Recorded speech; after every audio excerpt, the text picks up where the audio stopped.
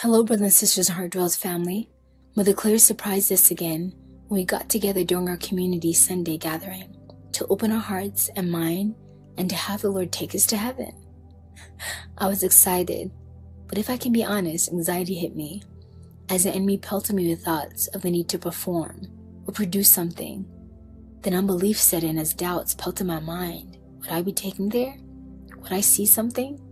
I was exhausted but I'm sharing this to reveal to you the enemy's tactics and what he uses to cause discouragement and unbelief in using your sanctified imagination to be with the Lord. The devil hates us more than anything. A soul on earth taken to heaven? First, not only does it boost your morale, lift your mind on heavenly things, and brings healing to your soul, but it causes you to testify, sharing the testimony of where you've been, where the Lord has taken you, thereby bringing many souls who are thirsty to the well of life, Jesus, so they can experience that too. And lastly, letting the world know heaven is real. It's not a state of being, a made of place, but it is a place that Jesus Christ, our Savior, said He's gone to prepare for you. John 14 3. If you would believe and have faith in Him, that is your home.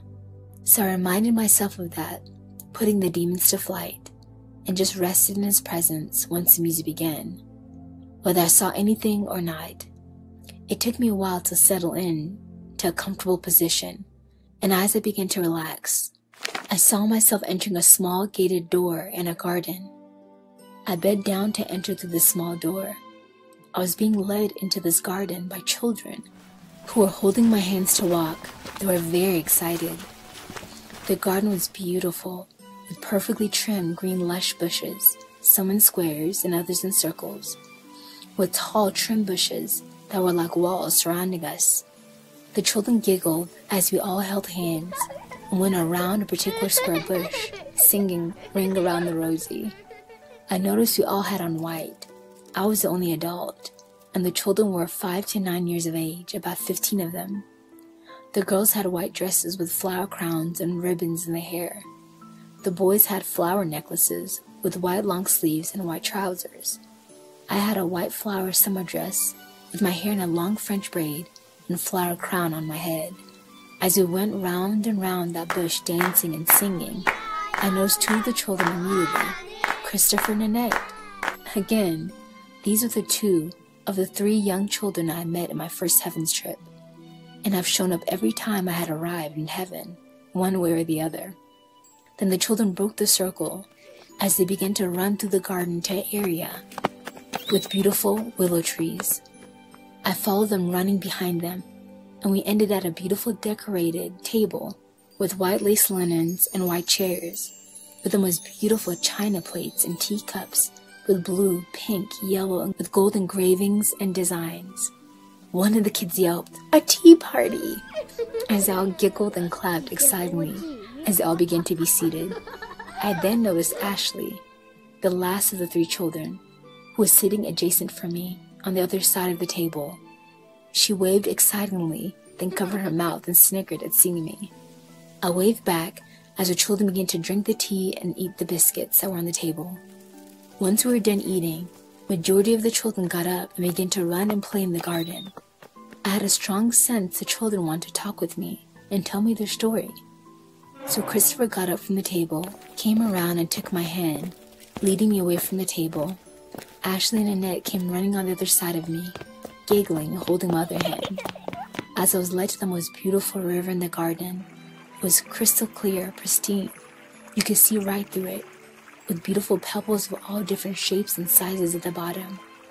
It was shallow and had a running stream that sounded almost melodic. We sat on a bench next to the river and Christopher sat to my left, and the two young girls, Ashley and Annette, sat to my right, as all three children leaned into me, looking up at me, and rested their precious heads on my side as I had my arms around them.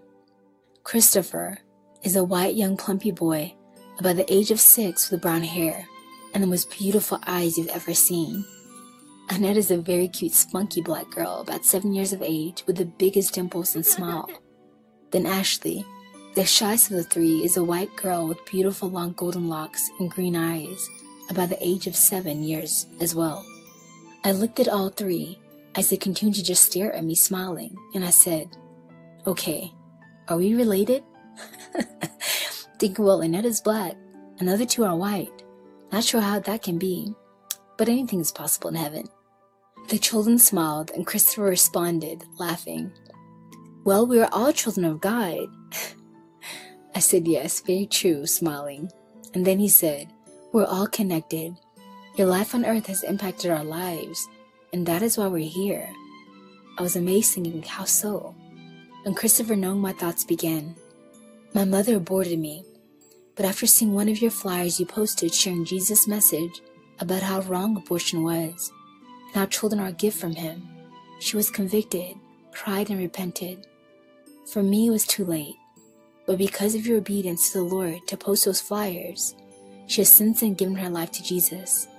And I have two other siblings, he jumped up excitedly, that I'll get to meet because of the flyers you posted. She never did that again. I was dumbfounded and remembered the message Jesus gave Mother Clare about abortion. He asked us to spread it around. Then the Holy Spirit gave me the idea to make it a flyer. I added personal testimonies from some people who I knew had experienced that and regretted it. I then went with my sister to pass out the flyers, even posting them on bus stops in our city. This was more than four years ago. And now the Lord in His great mercy was allowing me to see how it impacted eternity. Then Ashley began, I was killed by a drunk driver you prayed for at Walmart. I thought, wow. There were many times I would take some friends from my Bible study group and would evangelize in Walmart and different grocery stores, just praying for people. I was a bit sad because I thought if I prayed for him and he still harmed somebody, I couldn't see the blessing in that. Actually, no, my thought said, because of your prayers, he didn't go to hell. He was destined to go there that day. But the Lord in His great mercy sent you to pray for him. So rather than being killed in the car accident, he was kept alive. Now he's in prison, but Papa will redeem him, and he'll be used to bring many souls to heaven. I was with my mom when the accident happened. She made it through and has now forgiven the man. She said all of this with such excitement. It's like the souls in heaven have no concept of anything else besides the glory of God. She was so excited that God's glory be shown in all of what He allowed in her life. I was in awe, amazed at God, still processing all of this, when Annette stood up off the bench and came in front of me and said, I love you most of all, with tears in her eyes. Krista and Ashley both said, Ah, Annette, waving her off, smiling. She began, You came to me when I was dying. Now, that I didn't remember, and would have remembered if that happened on Earth. I looked a bit perplexed. She continued, You told me to let go and that everything was going to be okay, and that I was going to be with Jesus and my family would be fine. I really tried to remember then I saw myself praying in my closet in tongues in my old apartment. I was praying in the spirit, and during those moments, I didn't know what I was saying or doing at the time. He then opened my eyes to show me what was being done that day as I was praying. He took me in the spirit, and I saw myself walking to a hospital room. I saw Annette sick, with tubes all through her nose and body. The light in her eyes were gone, and she didn't have that big smile like she does in heaven. She looked so tired. I then told that it was okay to let go and that she was going to be with Jesus. Tears streamed down her eyes, and then I saw her spirit sit up from the bed. A bright light appeared in her room, and Jesus walked in, picked her up, and carried her away smiling at me. I then was back in my apartment just praying in tongues, having no idea what just happened or what I was praying. She then said, and you helped my family prepare to let me go by praying for them. This time I thought, how? Then Holy Spirit again brought to my memory of me at Cook's Children's Hospital with my niece Naomi. She was two years old at the time, a little partner in holy crime.